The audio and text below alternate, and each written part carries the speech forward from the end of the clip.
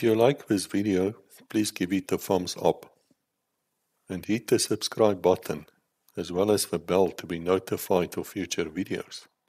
Thank you. Hello Internet. I must introduce you to some soldier, otherwise he wouldn't be here. Businessman, entrepreneur, also involved with wildlife. He's a fantastic fellow. I spoke to him quite a few times now before we're recording this. His name is Diederik van Hof. And would you believe with that Dutch signing, signing name, he was actually a major in the Transvaal Scottish. And he says to me he met the Queen Mother at the palace, at Buckingham Palace in uh, London, in uniform. And, and that makes it very special, in fact, because, you know, you don't often see South African Army uniforms in London, not since the Second World War, I would suppose. But we're going to get to all of this, and then I must also tell you he's got an app an application, as we call it. Yes, one of those things you download, you know, onto your phone and, and it assists you. And that's why he's here, because his app is fantastic. It has to do with history, military history. And you just have to look at this fellow. Once he starts speaking, you'll see this library behind him, and you will see here's a guy who can speak history like no other. So very welcome, yeah, Major. We're really grateful for you. Thank you for coming. I wonder, um, can you tell us how did this start for you? How do you go from a Dutchman to a Transvaal Scottish? And I don't even know where to start, so I'll leave it for you. Yeah, I'm hi. Thank thanks for coming and thanks for inviting me. This is this is gonna I think is gonna be a lot of fun on this one. Yeah, how does a how does a proper Kaaskop wind up in the Transvaal Scottish? First generation South African. My parents emigrated out of Holland after World War II they just couldn't see it anymore. The Germans, the Germans really hammered the Netherlands. My father had enough. Two of his brothers, two of my uncles were shot by the Germans because they didn't want to fight in the German army. And he just had enough. So he came out to South Africa. And uh, yeah, that's where that's where we come from. So early 1950s he came out. And yeah, South Africa, I'm born and bred here with a Dutch surname. I was part of the conscription. I went in matriculated 81 call up papers arrive, off we go to Potch, infantry, fill fill in the little Nedbank books, all that good stuff that I think we all went through. And uh wound up in in yeah, we wound up we wound up in Potch. And the army that year made a complete gemors of the call up. In 1982, I think every infantryman wound up in Potch. So one side, two side, three side, four side, six side, eight side, all wound up in Potch. So it was a hell of a gescarrel to get that sorted out. And uh Eventually, we did basics in Middelburg. And I had no ambition to do much in the army at that stage. I just thought, let me get my two years done. And uh, I sat in my first tent on the shooting range in Potch. The oak next to me had a standard eight out of Durban. The first thing he did was organize a bag of dagga and smoke himself into a stupor. And we were all panicking in the tent because we think the corporal are going to arrest us had an oak across the aisle from me with a standard. I think he had a standard three. Worked on the railways as a guy, tapped the wheels on the trains, and I thought, no, no, no, no, no, no, I can't. There's no ways I'm going to survive two years of this. So we go to infantry school, do my year down at infantry school. Interesting times. I volunteered there as a assault pioneer. So off to Kroonstad to do the engineering training. Border duty was digging landmines out of Wimvili Pat exciting times. We I managed to lift one of those mines. It was uh, we we got one. It was a Czechoslovakian thing, a PTMP2 something. I forget the name. Bakelite box mine. That you're sitting there with the earphones and beep beep beep, and you're doing 99% of the time it's a Coca-Cola can and a nail and a, a out of a Buffel or something, or suspension of a square wheel. But that day we hit a mine dig this thing out, ah, signal, same, what? Everybody goes in the rondom verdediging the whole lot, and here we go digging out this bloody mine. And we clear it. I managed to clear the mine. And at that stage, the technique was to throw a grappling hook behind it, and then you fall back. Because if you wrap it on your arms, it'll pull your arm off. It'll you'll you'll kill yourself. So we go back, I don't know, 50, 60, 80 meters, whatever the safety distance was. I can't remember. It's an awful long time ago But we pull that mine. That mine comes out of the ground, but just behind it, on the in the, in the middelmannetjie almost, because you got the track you got middelmannetjie next track. In the middle of the thing, another a double cheese mine goes. And obviously, the guys had learned exactly how to do it because the wheel, the front wheel would hit the one mine and the double cheese would go under the buck of the buffalo or whatever. And would, a double cheese mine does some serious damage. But anyway, we then pick up this mine and we're under the command of an engineer lieutenant. We get this thing back into base now. He's he wants to be all clever with this thing.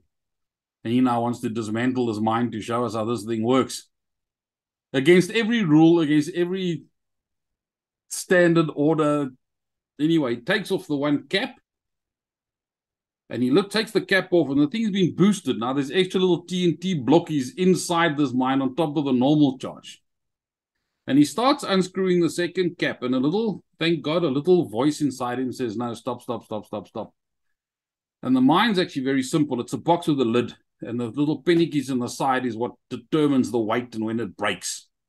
So he takes the pennies out and he lifts the lid, and they put it uh, they put a uh, pull mechanism on that second dust cap onto a pull detonator.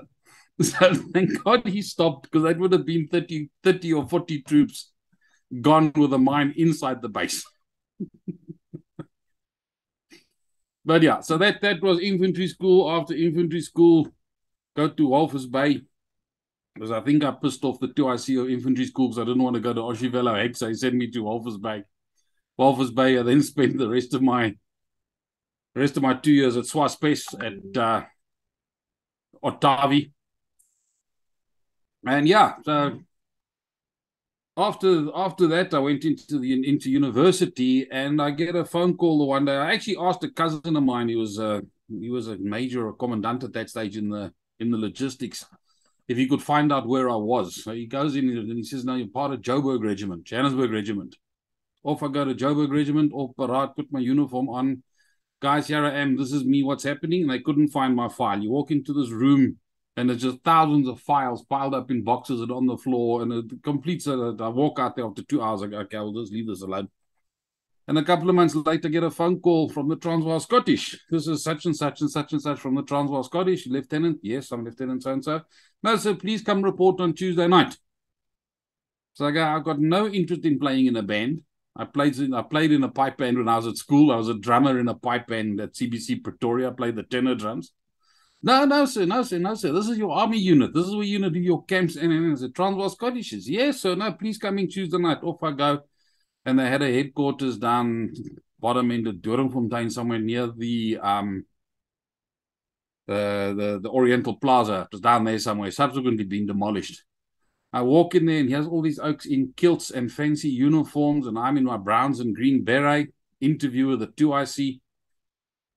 He says, Right, this is your unit, man. Here, go get uniform. And I go to the stores and there's this, and it and obviously Transvaal Scottish, I mean, it's a, a, lot of it caught a lot of guys of English descent and old Scotsman. There was a guy there, he was the storeman. I, I think he was a warrant officer, a guy named Vic Anslow. But he had a moustache. That's the biggest moustache I've ever seen in my life. He was a real, real, real good, solid soldier. I mean, a row of medal ribbons, World War II medal ribbons, and and he was the stores guy. Very parat. Yes, sir. Did I walk out of there with a pile of uniform that I didn't know what to do with? And, uh, and the next two to three weeks, I would come in on Tuesday night because the admin admin nights for the citizen force was Tuesday nights. You'd come in and do the admin and prep for camps and training and whatever else was happening. And I'd sort of make mental notes and I'd write down little notes of what uniform went with what piece of kit there because the RSM at that stage was a riller. Guy that had money from Staden. and you didn't want to get, as a second lieutenant, you didn't want to get on the wrong side of the RSM. And uh, yeah, and then from from there, we, we I sort of found a home in the Transvaal Scottish. Awesome unit, one of our old traditional units formed in 1902 after the Anglo-Boer War. Scottish volunteers formed a peacekeeping force in Johannesburg, and it was formed by a guy by the name of the Marquis of Tullibardine. Now, a Marquis is the son of a duke, and the duke, being a duke, is the highest of the titles that you can have in the English hierarchy. So we're talking serious guys. So the Duke, the Duke of Atholl is, I think, the most senior peerage in the British system. So, should, for example, should Charles not have had any children, the Duke of Atholl would almost be second or third in line to take over from Charles. Now, obviously, Charles had kids and they've got kids and kids and kids. So that now moves away, but it's a very, very senior, senior title. So the Duke of Atholl's son formed the Transvaal Scottish, and that sort of well, it was it was the Scottish horse, and then it became the Transvaal Scottish later. So uh, we go back to 1902. We're not quite the oldest traditional unit in South Africa. That honor belongs to one of the regiments down in KZN in Durban, and there was one or two in Cape Town that beat us as well. But we one of the oldest. We're one of the oldest regiments in in the in the South African Army and that's where I did my camps. I've I qualified. I've just qualified for my thirty year medal. Uh, so I've got my I got my John Chard and my John Chard decoration. I'm waiting for my thirty years. It's, it's it's about seven years late, but my thirty year medal is somewhere somewhere in the pipeline. But the camps that I did, I you know when I started my camps after university, we just pulled out of Angola, and I I did most of my camps up northern border. So every single kilometer from where the Kruger Park intersects with um, Zimbabwe through Beitbridge, past Tuli Block, all the way down to Groblersbrug. I've been in command of that part of the border at some part of my career as company commander. I've been acting battalion commander. I've been 2IC. I've been uh, all, all sorts of stuff. And I've walked every single kilometer of that of that entire border. So that's that's sort of the military service he did. But the Transvaal Scottish being a traditional unit was a very much a parade orientated. It's a showpiece. It's serious. It's a serious showpiece. You know, it's a, a, spectacular sight. You've got a whole platoon or company in kilts. I mean, our band, our band is South African champion band. They regularly get invited to go play at the Edinburgh Tattoo. They've just come back from the Basel Tattoo. They compete in all the competitions. They won the South African championships this last year again. And a pipe band, a pipe band just works. A pipe band's just great. And the Tron, the Toronto Scottish Pipe Band is an awesome bunch of guys. I don't know how they play the bagpipes. There's been way too many parties in the pub with these guys, but they are it's a fantastic organization. And I, we, you know, for 30 years, that was almost my second home. Every Tuesday night, you'd go in camps, one month, two month, three month camps. We would go and do border duty parades all over the place, especially sort of sort of November, December, November with Armistice Day and all of those, you know, freedom of the city of Johannesburg, freedom of Barberton. Those were all parades that we did. And one of the highlights was um, because of our affiliation with the with the Atholl Highlanders, the, the Duke of Atholl. The Duke of Atholl holds the distinction of being the only person in Europe who's allowed to have a private army. Queen Anne gave it to him in 1600 and something or other. So the Duke of Atholl has the right to a private army. Obviously, the Queen at that stage was short of armies, so, so she said, "Okay, Mr. Duke, have an army. Please raise an army for me and come help me fight the Spanish." But he's kept he's kept that privilege, and we were invited in 1995 to go across to Scotland and participate in the 100th anniversary of the Atholl Highlanders receiving their colours from Queen Victoria. So, 95, everybody loves South Africa. We were the first unit allowed into Europe in full uniform um, to go and visit. So, we, put, we went through France, we went through Delville Wood, we went through the First World War battlefields, where which is on our battle battle honors now as well. I actually was parade commander at a at a parade we held at Delville Wood, one of the one of the big fights we had in in France. That was actually a funny one. We had a we had a lovely old Padre, Padre Marshall, also one of these old British British guys. He's a he's he was the kind of guy who volunteered, I think, at 14 or 15 to go fight in World War II. He hid his age. He lied about his age to go fight. And he wound up as our as our regimental padre. Lovely old man.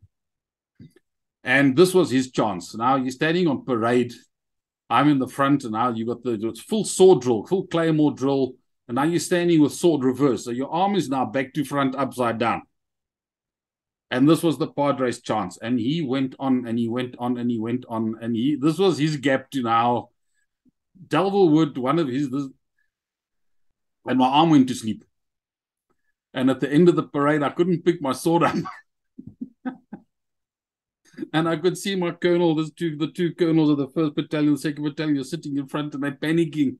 So I'm picking my sword up. I had to have my second, I had to take my left hand and, and stabilize until I got blood flow back, and then I could hold my sword again and carry on at the parade. But yeah, so and then we went to the UK, and part of that was we managed to we were invited to visit the Queen Mother, and it was it wasn't Buckingham Palace, it was Clarence House, which is where the Queen Mother lives. But uh, again, one of the highlights. I mean, you're in full kit, all the uniforms, the badges, the buttons, the swords, the whole the whole gedunte is is all polished and shiny. And we stayed down in a in a place called Chelsea. We stayed in Chelsea barracks with the pensioners are, you know, the guys in the like the guy won the British Got Talent, the, the Chelsea pensioners. We're right next door to them in one of the barracks there. But as you leave, you check all the oaks on the corner of the road, talking their collars, blah, blah, blah, blah, blah, as you're driving now out of the barracks. And obviously, it's the MI5, whoever it is, SAS, who knows who these oaks were, checking the security get to the back of the palace and I can see a carriage comes in and some ambassador or someone with a big tricorn hat and feathers and stuff everywhere comes in. He's in front of us. He goes and he comes back. Then we we're allowed in. And such a lovely lady gave us all a little bit of time. And I mean, I, and I, I, I fondly remember we chatted about the rugby and about the French and the about about the Australians. We were about to play Australia in the opening match of the of the World Cup. I think it was '95, and I had a chat with her about the rugby. It's a lovely, lovely lady. And uh, they were you were allowed two drinks. It's ten o'clock in the morning. You offered two drinks. You're allowed a gin and tonic and a whiskey water. That's it. Kupela. End of story. No water, no coke, no nothing. Gin and tonic or whiskey.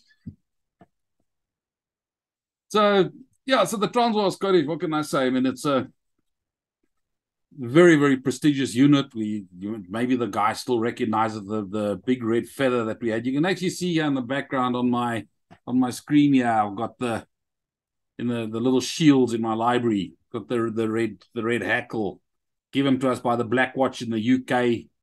When we fought next to them in World War One, they decided we were worthy of wearing their, their red hackle, so we tied with the Black Watch in the UK.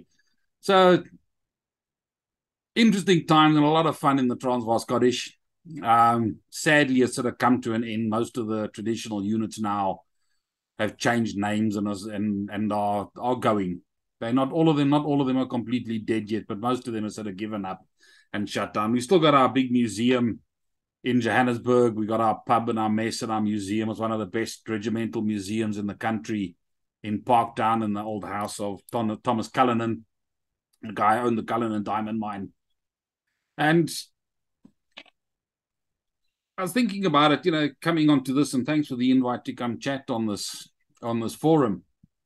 And at school, I always hated history, but my business is being a a tour guide. I run a safari tour and safari company, so I host international visitors that come into South Africa, and they know nothing about our history. They've got no, they vaguely know where they are in Africa if they're lucky, but they know nothing about the history. They know nothing about where we've come from and all the rest of it. So almost by force, I had to learn our history. And history for me has become almost like a puzzle, and it's a never ending 20,000 piece puzzle. And you've got the picture, but there's essential pieces missing and every time you go into a museum or you pick up a book or you talk to someone, you go, wow, I didn't know that about this fight or incident or treaty or happening or conference or something. And you go, that explains why this happened. And that explains, now I understand why this guy did this at that time. And South Africa has got the most incredible unbelievable, varied, and rich history.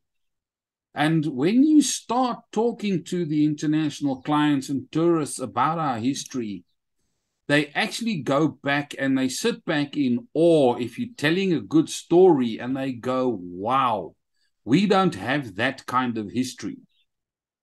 Because South African are blessed with all these cultures, all these influences, all these immigrants, all these indigenous people, all the influences of everything, and all of that somehow bashed heads at some point in South Africa. And there's a lot of history we don't know. There's a lot of history we don't understand. There's a lot of history that we are still uncovering. The pre European history is very, very vague in South Africa.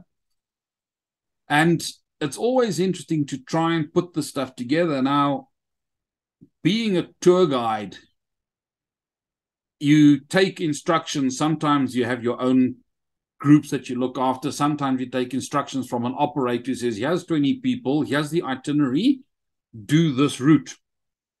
And invariably, you're driving through some dorpy somewhere, or you're going through some little town somewhere. And some Okies there in Church Square. There's always a Church Square intersecting with the Voortrekker Road. And in the middle of that is the NG Kerk. And I've got a wonderful theory. I still got to test this whole story. The smaller the dorpy, the bigger the kerk. The smaller the town, the bigger the church. But I mean, look, there's some masterpieces out there. You got sometimes you got to stand back at these churches and you look at some of the churches that Gerard Moerdijk designed. I mean, he's the guy who did the Voortrekker Monument. Just, I mean, they they you just sit back and you just go, wow, this is a masterpiece.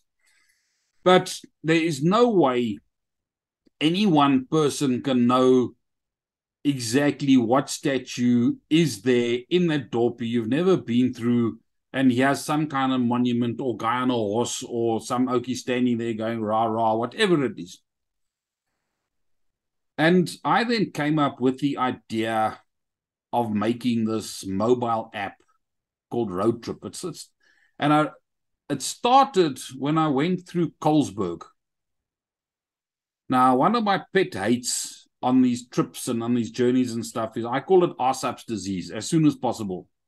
You drive to Cape Town, you want to get into Cape Town as fast as you can, but you miss so much on the road. All the little dorpies, the little shops, the lekker little restaurants, and the in the, the national highways have bypassed all of these places, and you stop at a garage and you buy some plastic hamburger somewhere, and then off you go again, and you're missing out on all these little towns. So I always try and go through these, through these little dorpies.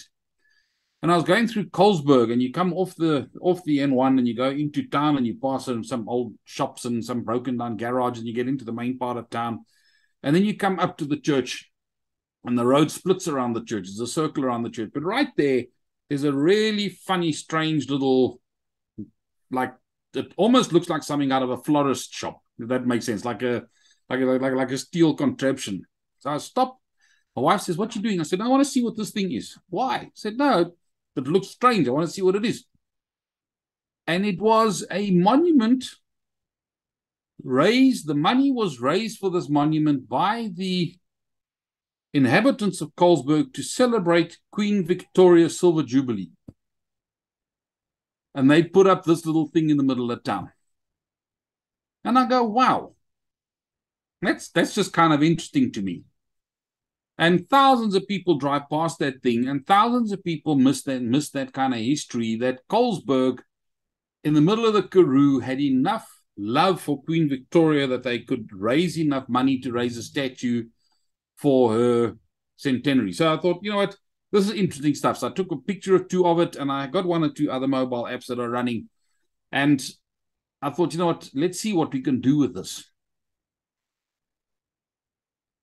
through the Transvaal Scottish, strange enough, I met up with a guy who tried to come into the unit as part of like a university officers training system that they that they tried for a little while. They were trying to get quality graduates into the military to come in as second lieutenants to try and build up the officer corps for a while. And I met a guy by the name of Emil Kutsia, who's not currently busy with his PhD in history. And him and I just just got on. Just we just got on, and I got to know that his hobby was traveling towns and taking photographs of monuments and statues and museums. And I said to him, "Listen, you've got this whole wealth of info. Let's see if we can't do something with it." And it took a bit of convincing, but eventually saw that this had a lot of possibility. So what we've done is we've translated his entire hobby of monuments, statues, memorials, graves, whatever you can think of. And we've now put this all on a mobile app. So the mobile app now has got 3,200 and something, I think, listings on it in total. And every everyone's got a photograph of the statue monument memorial. It's got a brief historical description of what of what there is. I mean, if you really want the history, go and buy a book. Or go onto Wikipedia or go and buy the history of South Africa in 5,000 pages by someone. This is purely a this is Andries Pretorius. He was the oak that fought at Blood River, and he rode his horse from KZN to Pretoria to now come sign the treaty or whatever. Okay, lekker. Now I know why Pretorius is sitting on his horse here in in wherever what whatever little dopey this thing is. So, and it's and it's really taking off. And um, an interesting part of this, and I think maybe that's why I, I'm sort of on your show because South Africa's got an incredible military history and has got a military history that very, very few nations can actually beat. And I mean, just just some some fun facts. When when Jan van Riebeeck arrived, he had a a private mercenary army with him. Remember, van Riebeeck arrived as the VOC, the Dutch East India Company. Nothing to do with colonies, nothing to do with government. This was this was money. It was cheaper for the VOC to start Cape Town than it was to lose all the ships. They made more money by paying Jan to sit in Cape Town and start the little harbor than to not have it so that he could resupply the ships properly. More ships came up and down and returned back to Holland. And in fact, in English, an interesting one is when you have that saying, my ships come in. I don't know if you know that saying, my ships come in. It comes from those days because those ships would be funded by private investment. You take a chance, you take your hundred pounds or guilders or whatever it was in that stage, and you take a gap and you'd say, I will put a hundred pounds down on the ship. Because if it comes back, I'm going to make a thousand pounds. But only one in three ships or one in four ships made it back in those days. So you were, you were gambling. And when your ship came in, it was a saying that I've now made my money. And it comes from the days of the VOC and the British traders and the Jan van Riebeeck, etc., etc. But he had a bunch of Hungarian mercenaries with him. Hungarian mercenaries were the security contingent in Cape Town. And these were these were guys that were kicked out of Hungary and they couldn't find a home in Germany because of this and religion and politics and what what what. And eventually they wound up in Holland. Holland was the catch net of every refugee at that stage in Europe because Holland has always been super tolerant. So they get all the scrubnel from all over the place would come into Holland. You know, so it goes right back to those days. Then you look at you look at our Zulu history, you look at Isandlwana, you're looking at Rorke's Drift, you're looking at the biggest defeat Britain ever had anywhere in their colonies at Isandlwana. They got clapped. They got clapped silly in Isandlwana. And that's by the Zulus. So we got a massive Zulu military tradition. Then we got the fur Voortrekkers and the Zulus fighting each other in in KZN. Then you got the British and the Voortrekkers. The British had to kick the Voortrekkers out of out of KZN. You're looking the first Anglo-Boer War, the second Anglo-Boer, second Anglo-Boer War. The tactics we developed in the second Anglo-Boer War resonated over the whole world. We instigated brand new systems, trenches, trenches at Magersfontein. The British had never seen trench warfare in their life before. They got clapped at Magersfontein because the Boertjies were clever enough to dig trenches the first time artillery was used to fire over infantry was on Long Tom Pass. They'd never done it before. So, you know, we've got this unbelievable, especially military history, never mind the other interesting stuff that we've got. But so the road trip app started with this, and as we slowly started adding all these spots, all the battlefields and the monuments and memorials and guys on horses and ox wagons and all this kind of stuff. Now, if I can do a bit of a screen share here. I hope you're seeing that. So the, the app's called the Road Trip app, and you can see the little Road Trip logo there because I've teamed up with a magazine called the Road Trip uh, magazine as well. So we share a bit of info and we do a little bit of um, combined marketing and stuff. So they they really like like what I'm doing, and that's what that's what the app logo actually looks like. So you can download this app off Google. You can download it off Apple. You can get get the links off off the the road trip website. But when you when you get to the first screen. That's what the screen looks like. So you got kilometers. So your default screen will ask you where you where you are, and it gives you everything that we found within 10 kilometers of, of where you are. Or you can choose 50 kilometers, you can choose 100 Ks, you can choose the map country. Some phones can't handle map country, there's just too much info on it. If you've got a nice new phone with decent memory, you can do the whole country. But Map International is another good one. We've got um, spots where South Africans, we've got like the Boer War internment camps in Ceylon. We've got the Korean Air Force Memorial because our boykies fought in the Korean War. There's Boer War memorials in Australia. There's a whole lot of stuff in the UK. Um, General Ben is, is buried in the US in in um, Arizona. I think he's buried in Arizona somewhere. Ben who had his guns in the Kruger Park, is buried in the USA. We got his grave on the app. You know, so there's a whole lot of these little interesting things in there. But what we've done with it is we've actually divided this app up into into all these categories so that you can actually search for stuff that you're interested in. So you can see the first Anglo-Boer War, second Anglo-Boer War, Afrikaans language monuments. That's one of my favorite ones, Afri- Afrikaans language monuments. We are so proud of our Afrikaans language. We've got 13 monuments just to Afrikaans. No other country in the world has got monuments to their language, not one. We, we've got Afrikaans that's so special, and most people know the one in Paarl, the, the big Taal monument that was unveiled in 76 for the um, anniversary of Afrikaans being recognized as an official language. But you've got 13 language monuments. Anglo Zulu War, the Great Trek. The Great Trek is a fantastic story. If you if you really go into what these guys did, the Voortrekker Monument's having a big revamp at the moment. We seem to be tying up something with the Voortrekker Monument. Um, I mean, the story that the Voortrekkers or the story of those Voortrekkers is is amazing. And then something that a lot of people don't recognize is we've got the anniversaries of the Great Trek the 1938 and the 19, 1988 Great Trek, and you go through little dorpies and towns, and we don't have them all. I found another one or two today that we don't even have on the app yet. In that these ox wagons, replica ox wagons, went across the country, and when they got into a little dorpy, they went over wet concrete. And now the wagon tracks and the ox hoof prints are on those concrete slabs, and they're normally outside the church or outside the, the city hall and a lot of them, believe it or not, have even got um, a little box buried in there that is going to be taken out in 2038 with some kind of gadgets and thingies inside it. And people have forgotten what these things are. So, like I said, I mean, we've we found what do we we found 114 of them so far, and I, guarantee there's another 20, 30 that we don't have yet.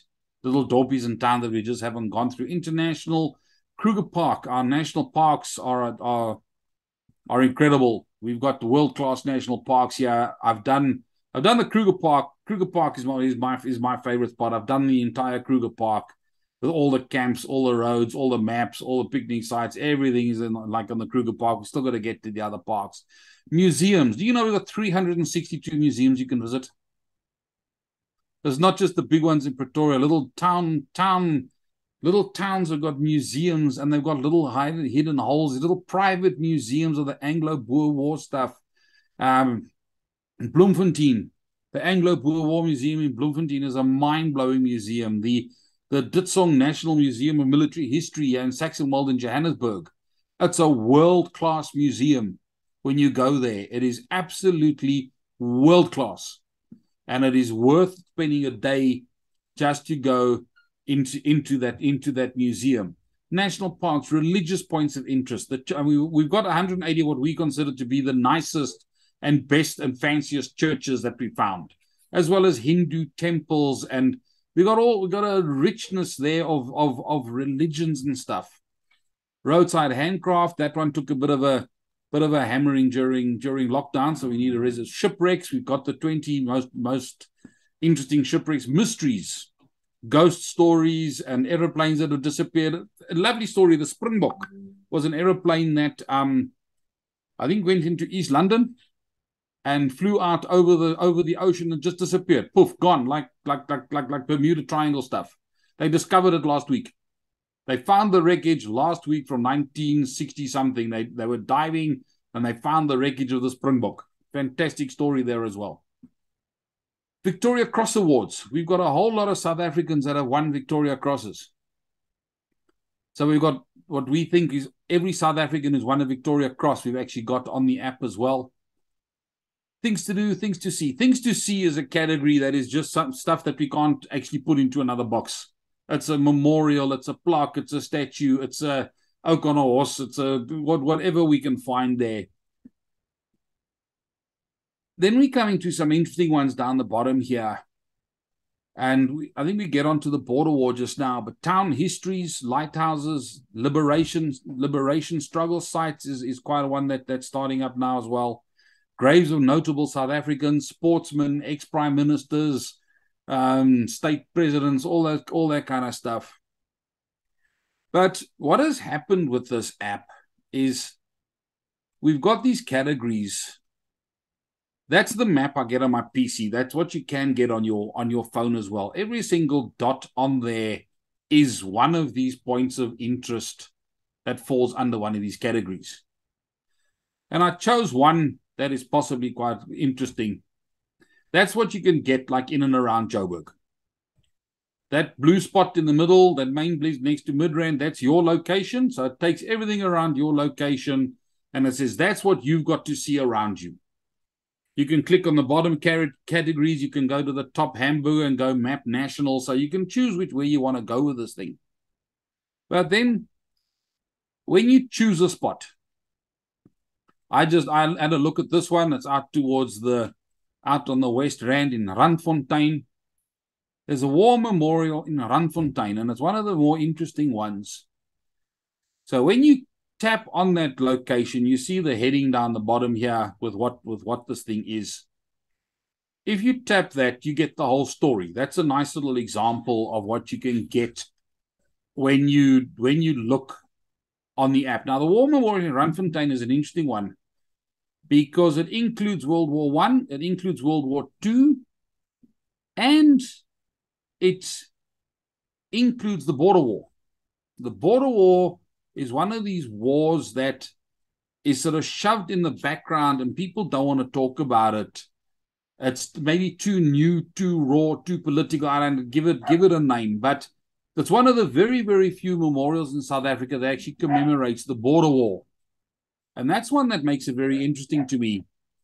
And through through this thing, obviously, you know, because of my service in the Transvaal Scottish, I'm still a member of a lot of veterans associations and and and and and I started then I started chatting, and I've got a particular interest in the Anglo-Boer War because it was such a, a different it was a different war. It was a really, really different war. It was a brand new war to the first modern war that the British had fought.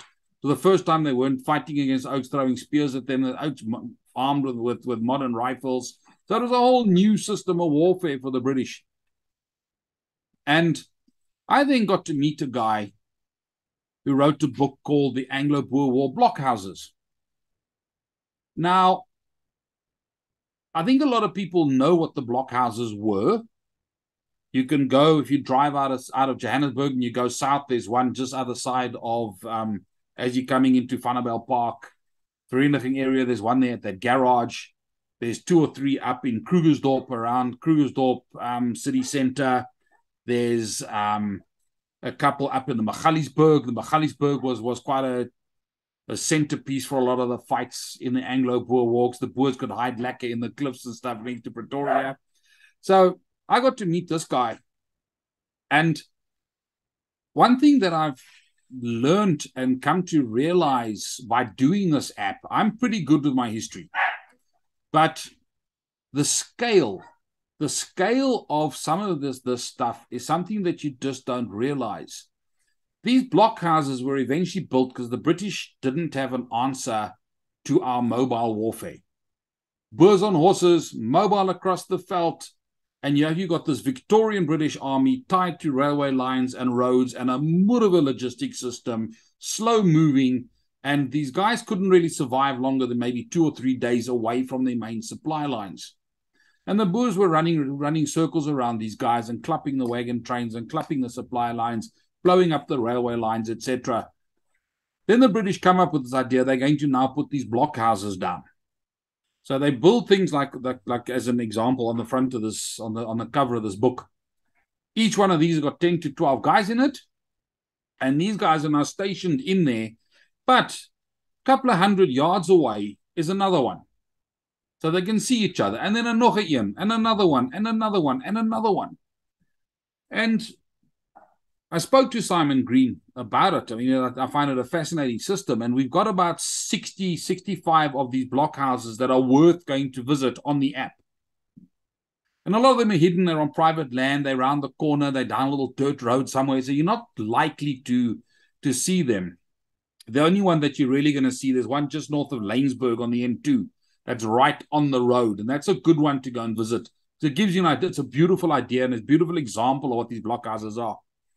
But you've got 10 to 12 oaks in here, and they're still discovering more blockhouses. But Simon on record, I think, has got 9,300 blockhouses that he's found on maps, old records, British survey charts, British engineering maps from the Anglo Boer War. 9,300 blockhouses, all of them with 10 to 12 guys in them. That's a hundred thousand men are tied up in blockhouses. The scale of this thing is unbelievable. The supplies and the food and water and ammo and clothing for a hundred thousand men who spent two years in these blockhouses. And that's Oaks tied down. That's not your fighting force. And I went to Simon and I said, wow, why don't I translate your book into electronic? And he went, wow, I've been looking at doing that. And I said to him, well, it's very simple. If you do that, it's going to cost you 150,000 Rand before you've built a mobile app. Let me put your stuff onto Road Trip.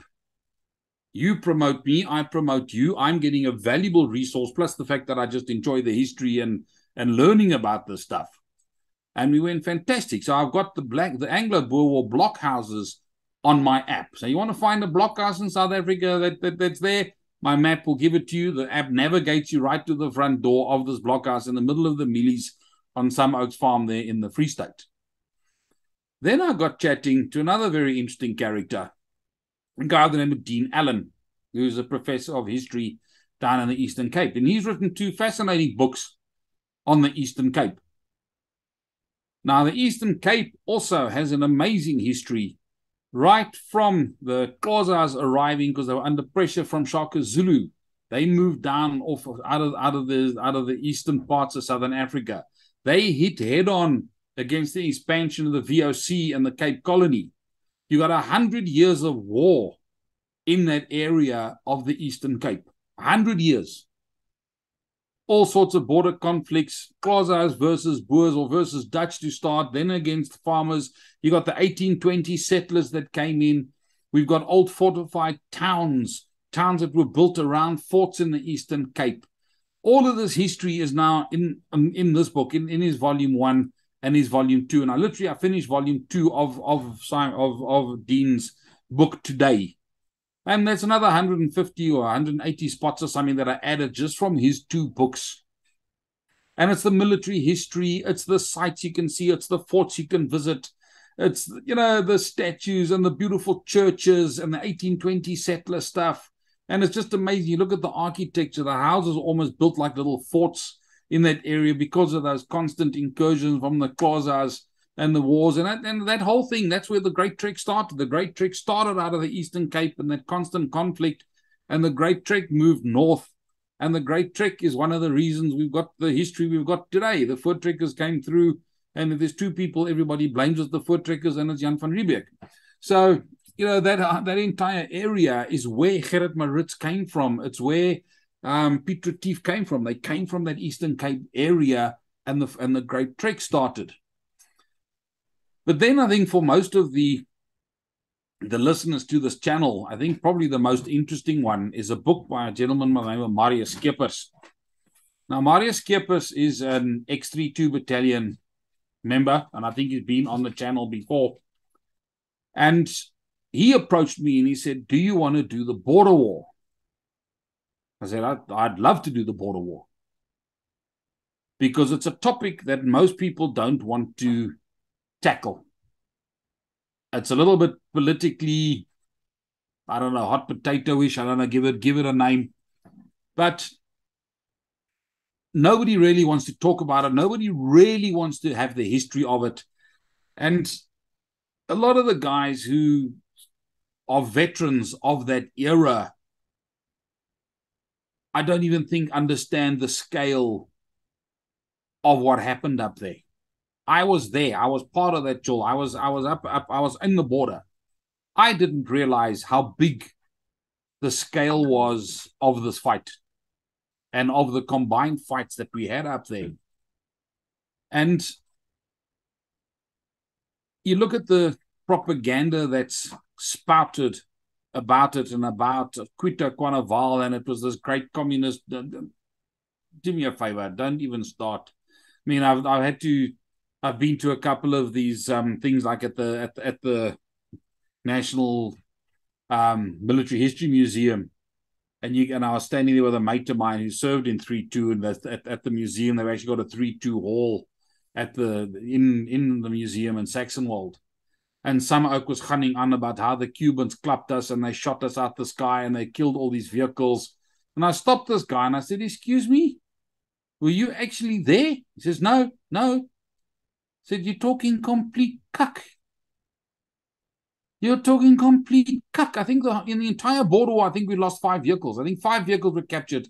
I think in total in the, in the entire border war, through all the fights we had. And I go, we destroyed brigades of oaks at Cuito Cuanavale. Oh, but but but I said, just just just stop. You know, and unfortunately, that story has gained momentum because it's the popular story that the South Africans were beaten at Cuito Cuanavale. And I think that's also why a lot of people shy away from the border war story. But we've got a border war icon on our on our app. And it took a little bit of thinking, and I eventually thought, you know what, the Ratel has got to be probably the best icon for that um, particular category. We were thinking Boshoed and we were thinking Pro Patria medal, and we were, and eventually I thought, you know what, the Ratel, because the Ratel did 99% of the fighting of the cross border stuff. Not really the Southwest African stuff, but the cross border stuff was 90% Ratels. And I mean, when you look at the outline of that thing, that's the fighting vehicle. The Buffel, the Buffel's not the fighting vehicle. The Buffel's the transport. The Ratel is the fighting vehicle. So we chose we chose the Ratel for that for that category. And Marius has written a fantastic book, and it's called it's called Move the Border.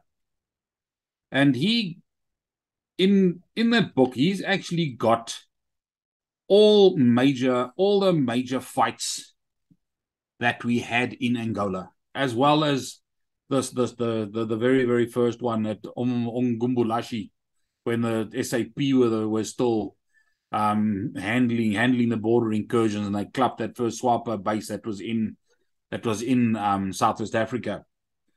But we've got a total now of 54 border war sites on the app. One thing we do on this app is it's not political.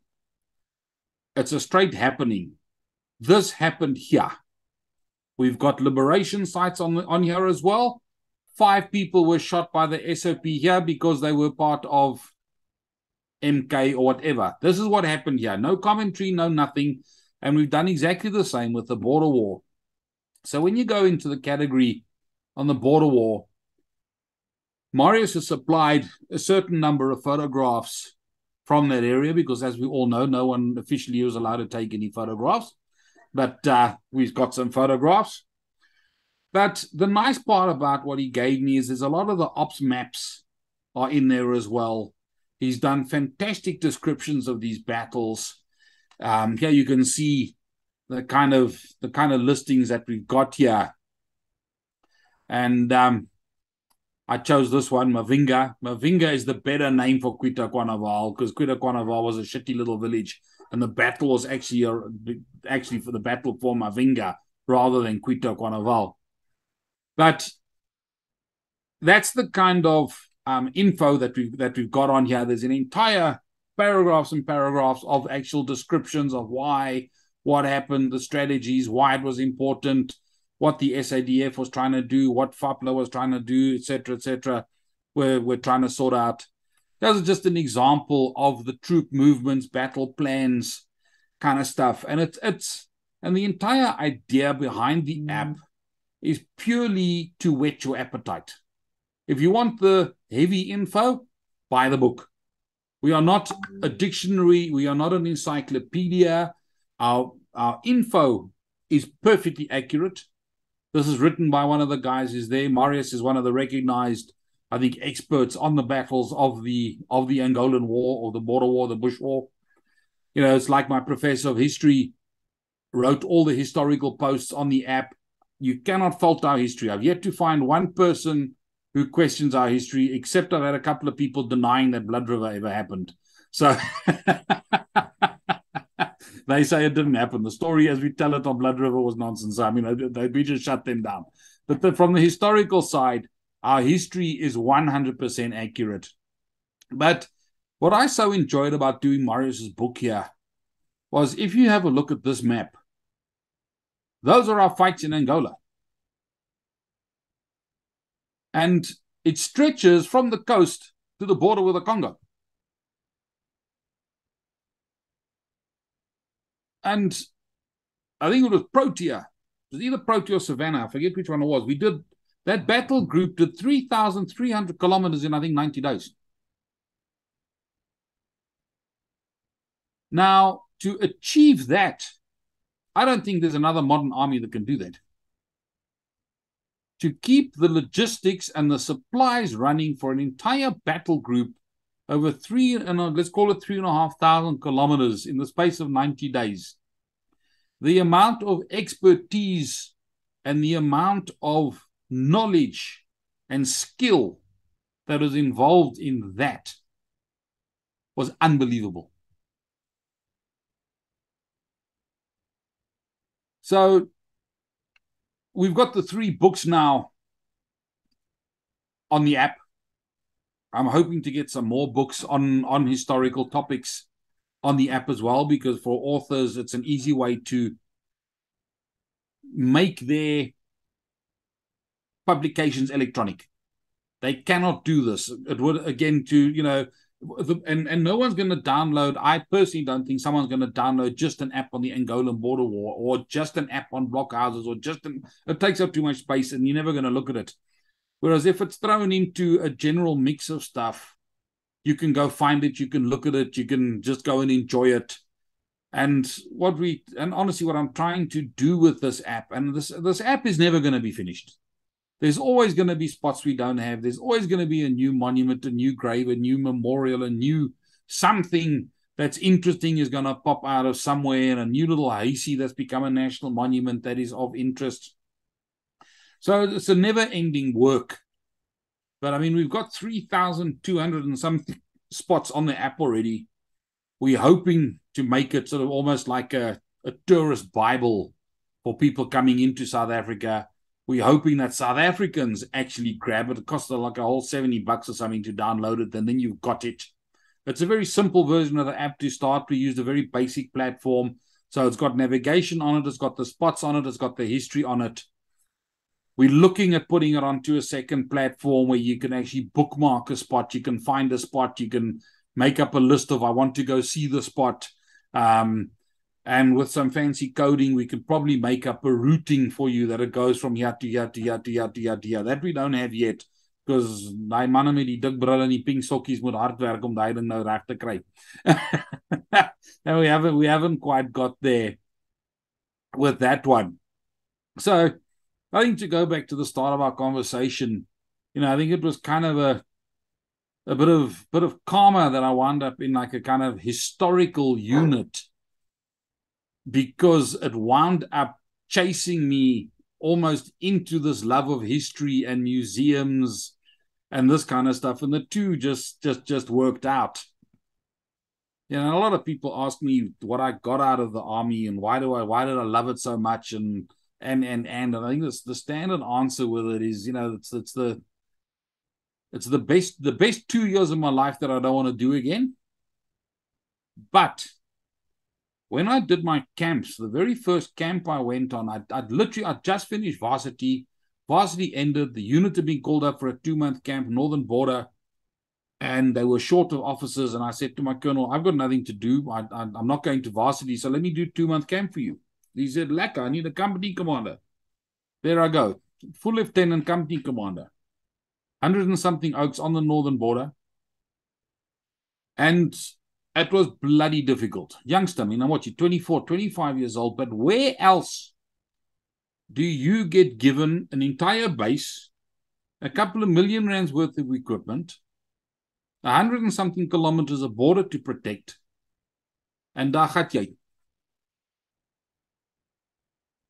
And even at that stage, I mean, we had one incident. I was I was the the company right off on the on the western side. Some of the more experienced company commanders were down towards Messina. We get called in the one day, and there's a great panic now. They've got intelligence that this crowd of Okies is coming over the border, and they know that they're carrying landmines and what, what, what, what, what. So we must now be awake, and we must now really get our troops sorted and everything else. So I look at this lot and I go, you know what? I don't need this in my life. I really don't need this cuck in my area with my farmers. So I pulled all my troops out. And I mean, we still laugh about it. Myself and my, my two I see at that stage are still big mates. We even used the water tanker to, to bus our troops. We put the troops into the water tanker to hide the fact that we were moving troops. So the water tanker went up and down the the the the border the border border road, and we brought all the troops and we concentrated them because I was based in what is now Mapungubwe National Park, Vhembe, Vhembe base. I don't know if you know Vhembe base. Lovely base. I mean, it's right on where the Shashi comes down onto the Limpopo. Lovely lookout on the rocks there, sunset. I mean, you drink a beer on the rocks, the baobab trees and all that. Beautiful. Elephants across in the game reserve on the other side. So I pull all the troops in and I concentrate them like in the first 10 Ks. And literally, I had like a troop every couple of hundred meters. I just saturated it. I put all my vehicles there. I made a noise. I told them to let off an occasional illegal shot and make a fire and just cause chaos.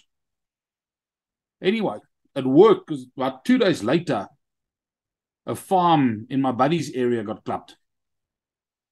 RPGs into the windows, AK 47s, the whole number. And eventually, what happened, and, and the nice the nice thing on this, well, not the nice thing, but an interesting part on this thing, is because I I did the assault pioneer training earlier. I was responsible for doing a lot of the landmine training, um, for when we were deploying, and I I did quite extensive landmine training with the guys. I set up whole ranges with booby traps and trip wires, and I mean, I learned how to make things go bang and pop and blow up and thunder flashes, and I, I managed to blow up most of the battalion with with with with my booby traps. But the guys came in as reaction into this farm. And thank goodness they didn't drive in the Tweespoor Paiki. They went through the gate and they went onto the grass to get to the whether it was instinct whether it was training, whether it was my little voice from three weeks or five weeks beforehand saying the lieutenant said I mustn't drive on a farm road when I go into into a into a contact, whatever it was. But they went over the grass to go to go to the farmhouse, and after we swept the road, they'd mined the road. So what happened is that they eventually backtracked, and the tracks came down through Botswana, or through Zim. They crossed the Shashi, into Tuli. They were coming into my area. But obviously, with the noise and all the nonsense I was doing, they turned around, went back over the Shashi, and then came down into my mate's area and clapped the farm next door. But where I'm going with that is where at 23, 24 years old, you get the management experience of a hundred and something guys, two months, You've signed for it. You're responsible for a couple of million bucks. End of camp. Sign back, please. So I I am ever grateful for the army and ever grateful for the management experience and the stories that we've got. And we've only scratched the surface of the stories that I got from those years in the Transvaal Scottish.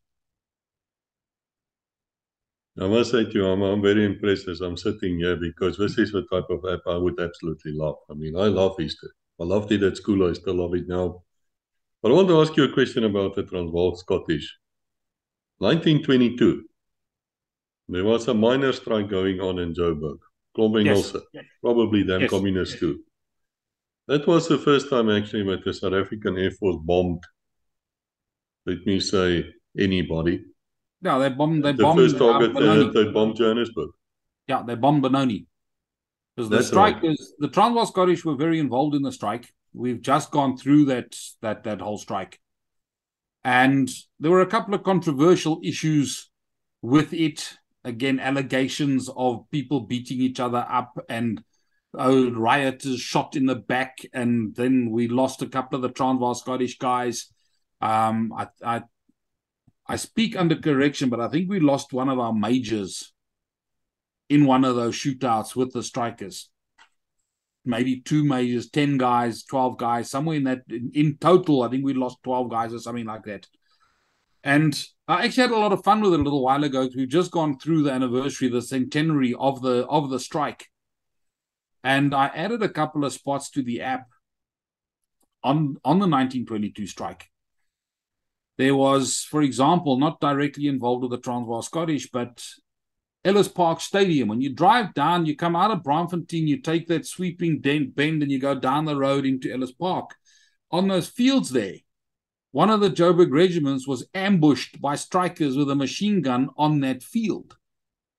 And there's a mural painted up on the wall.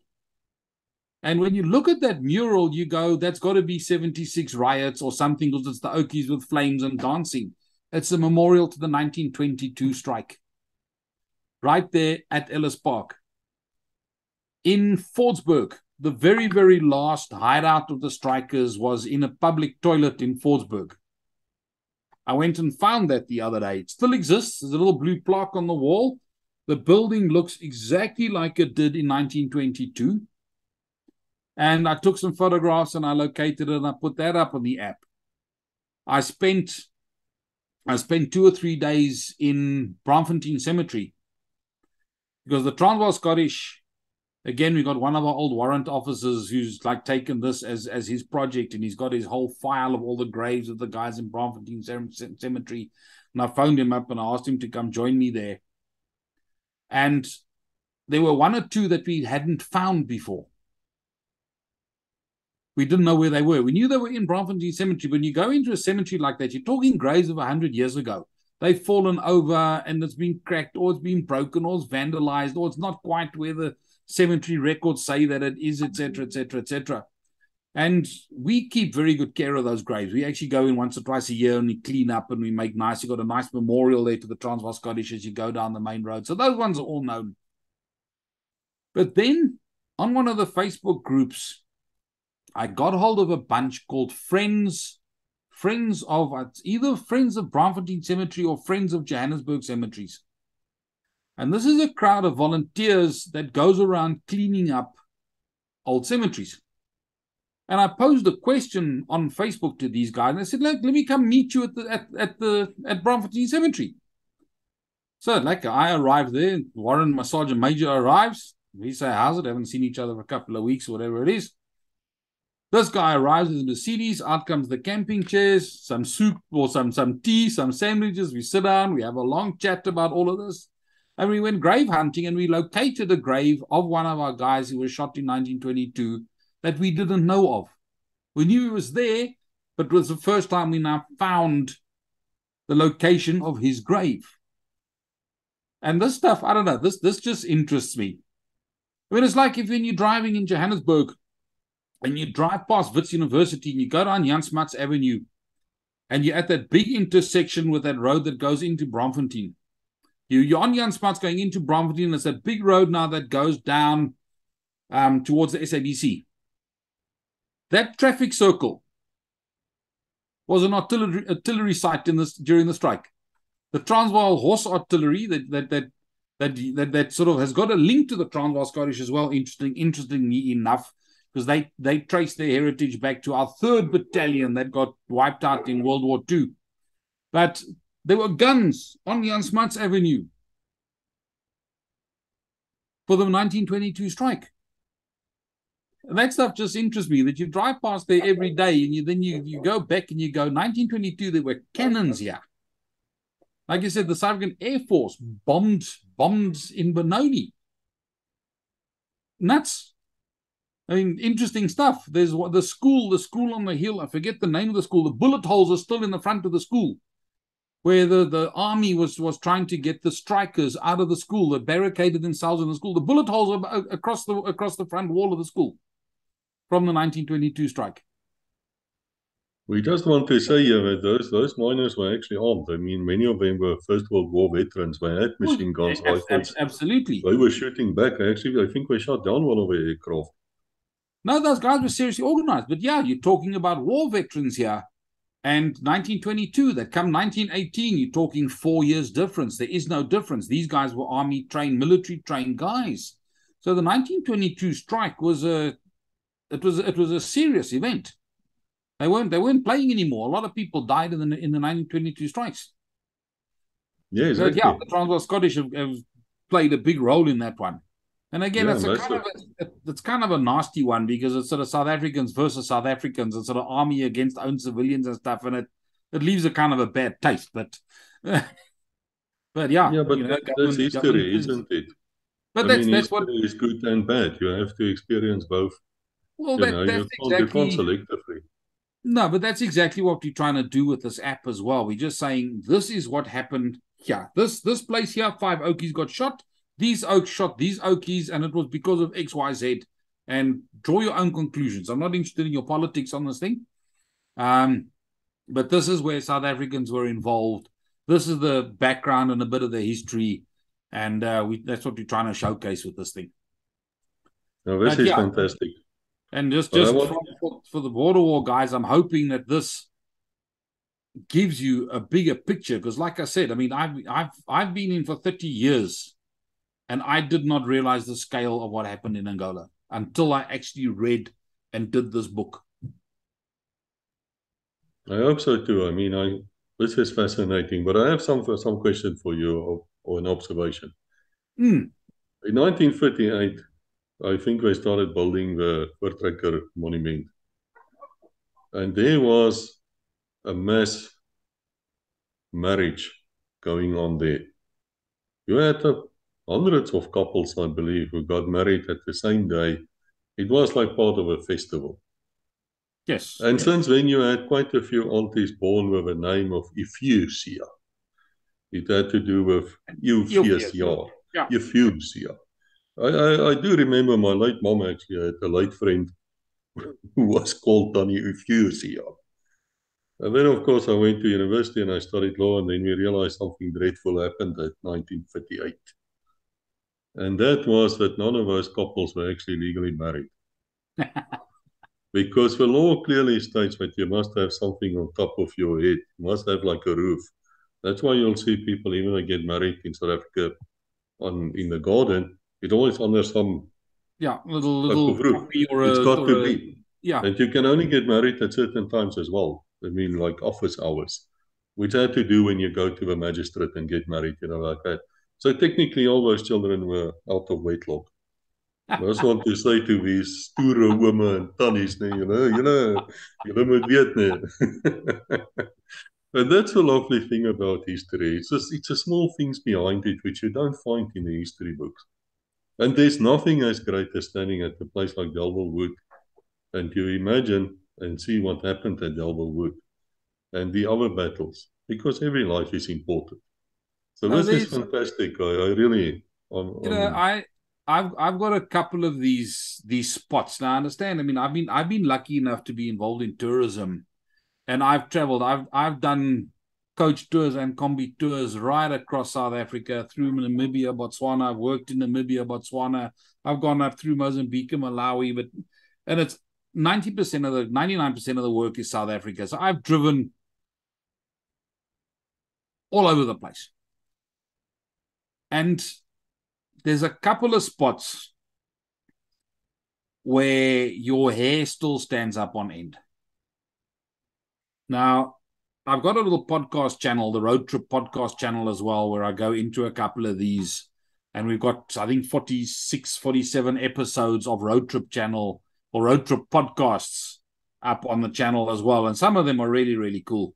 I done I'm, I'm particularly proud of my one on the on, on Blood River. I love the story of Blood River. Then you stand when you stand on that battlefield in Blood River and you stand in that circle of ox wagons and you know the story and you understand where these guys came from and that the covenant that got read out nine times on the way through to Blood River. And eventually you can picture it. These guys are sitting there. It's misty. It's nighttime. The Zulus are there. The Voortrekkers can hear the Zulus. And yet they're sitting inside this wagon, and the ox wagon lager, and they're singing, and the lanterns are out. And you can picture this thing, man. And the next morning this fight starts and that's one of the battlefields where my hair still stands up there's spooks on that battlefield the other one where i get spooks is isandlwana i get big spooks on isandlwana you stand on that battlefield and you try and picture the chaos that was happening and like i said this military history we've got the british were outgeneraled, they were outthought, they were outmaneuvered, they were outfoxed, they were out everything that Isandlwana.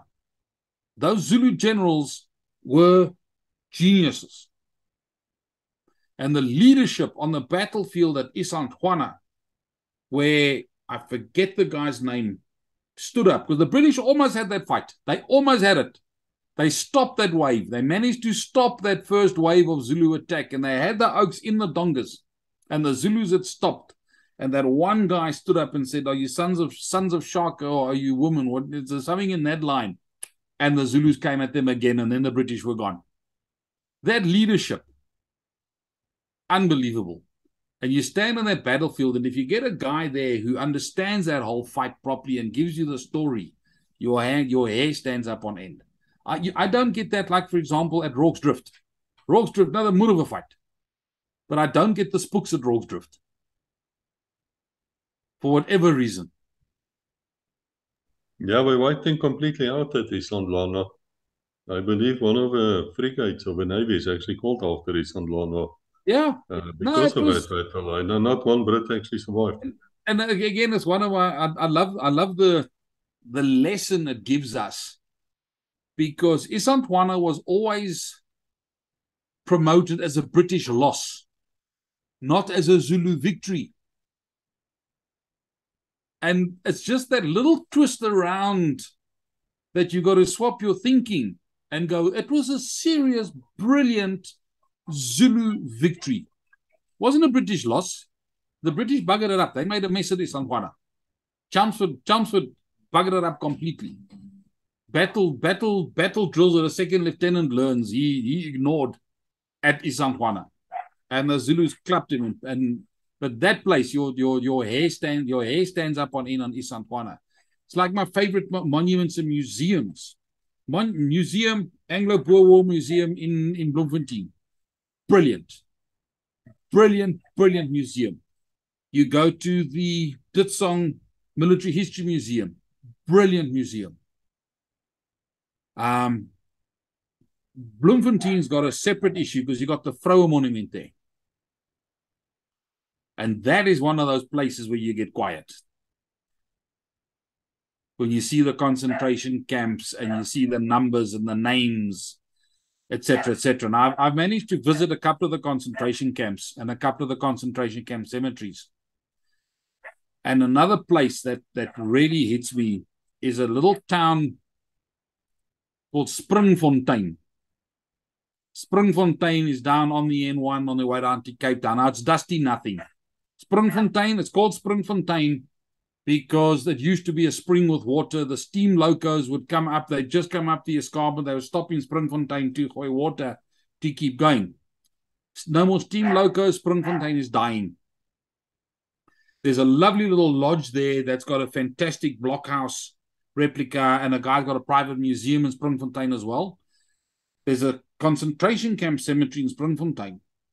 But if you go through town, there's a second concentration camp cemetery in Springfontein, and it's the children. It's the unbaptized children that were buried separately to the main concentration camp. And you stand there in this little cemetery, and there's these tiny little graves, man. And these are all kids of three, four, five weeks old, one month old, and they buried there. And that gets me. But, so this app yeah. of yours uh, uh, would would actually show the concentration camps as well. Um, I do. I do have most of the concentration camps on it. Um, I don't have them all yet. Okay, but um, again, with the app, what we're trying to do with it is we're trying to get the places that that you can actually see. So we're not trying to get places that is just five stones in the veld and there's nothing to see. We, you know, it's like the blockhouse, like Simon Green with his blockhouse book also says he's put it on there if it's higher than knee high. Because then you've got something to see. You've got something physically there, and it's not just an old ring of stones in the veld or something like that. You know, so yeah, we've got we've got the ones that that we found out about. I think there were wow, I think 30 something concentration camps in total. I'd speak under correction here but we certainly don't have all of them marked some of them are gone. Some of them just disappeared and gone and back, and there's absolutely nothing left. But yeah, those concentration camps and those concentration camp graves is a whole different story. Another another lovely one that I found was in Belfast, as you're going out to Mpumalanga side. I'd heard that there was a a trooper there, a troopie who'd won the Victoria Cross, is buried in the in the grave graveyard in Belfast.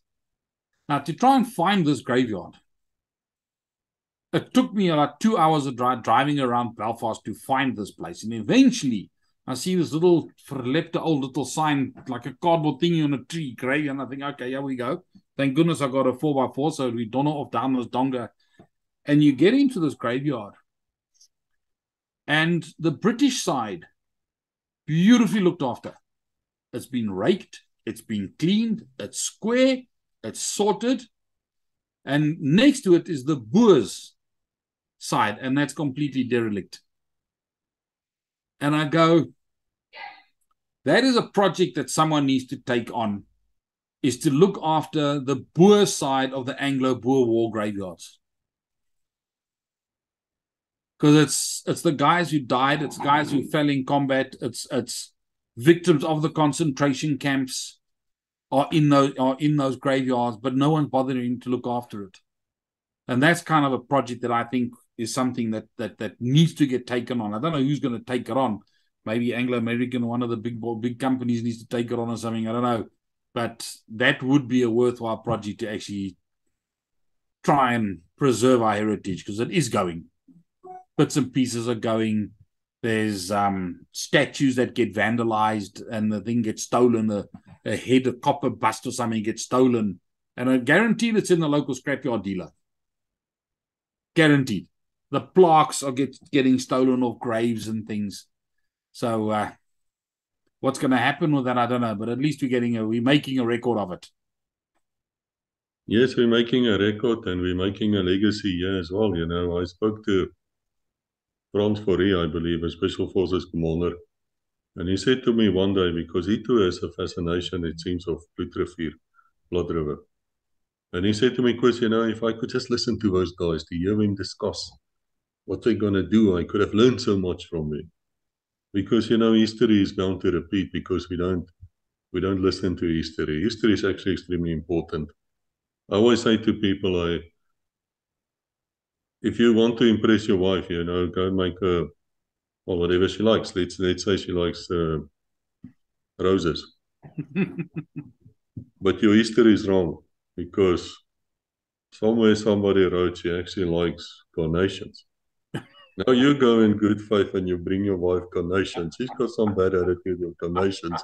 She kicks your ass and she doesn't talk to you for at least two hours. point I'm making is if your history isn't correct, it will kick you in the ass. It's, it's that simple. It's going to bite you in the ass. So it's got to be correct, and you've got to be able to go there and get still, silent, and think of what actually happened at that places. And your map, your app will actually take us there. So now tell me, if people now want to get hold of this app of yours, what do they do? Do they go to Google Play and, and, and the they go to places? Google they go to Google Play and they go to iStore and they search for Road Trip SA. The little round black logo with RT on it, and it's it's findable all over the place. I've got a huge Facebook page. Every day on Facebook, we put up a post about a monument or a site or a something that we found just to keep it going. So on the Facebook page, you'll find the Facebook page. Every single post we got has got links to download download the app as well. So yes. and, it's, and we'll it's kind of hard. in the description. Yeah. Well, we'll put the, it in. And it is updated. I mean, if if um, it, it's updated constantly, I suppose. The the app I added like today, I added another ten spots to the app from one of Dean Allen's books. Like I said, I finished his book today. Um, I saw the other day that uh, Emil added another statue somewhere up in the Eastern Cape of one of the local leaders that has just happened. Um, I've got to at some stage get to Braamfontein Cemetery because they they've just they unveiled a new memorial to the 1922 strike as a general memorial at the gate. We don't have that one yet. It's on the list to go and do. You know, so. and we also, sorry, we also expect the people to give good reviews. We don't want to hear nonsense here. You go out, you get this app, five star, and you tell your mate and everyone else five star good review. We don't want uh, want it's, uh, it's, reviews. You can, you can you can send you can send the app via WhatsApp to all your mates. You can go and get it. no, that's great. I have to, to smoke here a bit because my wife said to me, Look, what are you talking about today with this fellow? And I say, Well, I think we're talking history. And says, Oh, you won't be home for two hours. I said, no, no, half an hour, half an hour. She says, no, I know you. No, it's been fascinating. But it, it is. I mean, like you say, there's lessons to be learned on on all of these old fights and battles. And what to me is so interesting, when when when we went across to the UK in in '95, I managed to organize to spend a weekend with the territorial battalion of the Black Watch. Okay, there we go. So I'm now going a weekend exercise with these guys. So we now spend a weekend running around the farms somewhere up near Edinburgh. And again, I, I go in there. I'm a, I was I was a captain at that stage, and to me, the most interesting thing is, I think the British officers that I've met and I've met guys who fought in in the Gulf War. I've met guys who fought in the Falklands. And I I don't think there's very many armies that produce officers as professional as the UK. These guys are are different level. But yet, when I got there, South Africans are a real rough and ready bunch Okay, it's a whole different attitude to to soldiering. Maybe it's our Boer War heritage or something that it's a much more rough and ready kind of approach to this whole thing. But yet, when I told them I was involved in the border war, they couldn't get enough of it. So they hold us and they hold that border war in unbelievable high regard. And as far as I know, they're now starting to teach the strategies and the tactics and the methods we used in the border war at Sandhurst. They are starting to teach it in the US. Because the US Army, I mean, we had what? We had, I think, we our our ratio of non-combat to combat was something like six to one or something. I've got somewhere in my memory it was kind of that ratio. Some of these oaks operated like 30 to 1. That's madness and they're trying to find out how we did that.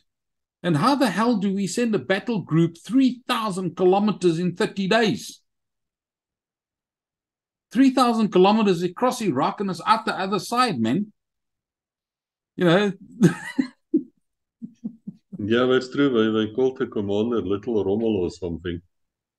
And uh, they, they can learn a lot from us. Uh, Roland de Vries is doing a lot in the background, General de Vries, Yes. and teaching these people. But let me tell you, I've also met a lot of them. And uh, yeah, they were respectful enough. The ones who were actually the most respectful were the Chinese military officers. But that's another story. What we know here is we've got this app. It's not going to go away. It's not a fly by night. We can download this thing, pay a few rands for it, support you, and uh, enjoy history. And I thank you for doing that. Really, I'm impressed. Thank you. We, we appreciate what Uh, you do. very much appreciated. Be on your channel. Um, I think I think you're going to be doing an awesome job with Key with recording what happened up there as well. Because these are all stories that are going to disappear. eh? They're all going to go and disappear, and it's they they they get told among- amongst buddies and amongst the old veterans in a pub somewhere. But Joe Public doesn't get to hear them, and Joe Public's got to get these stories as well.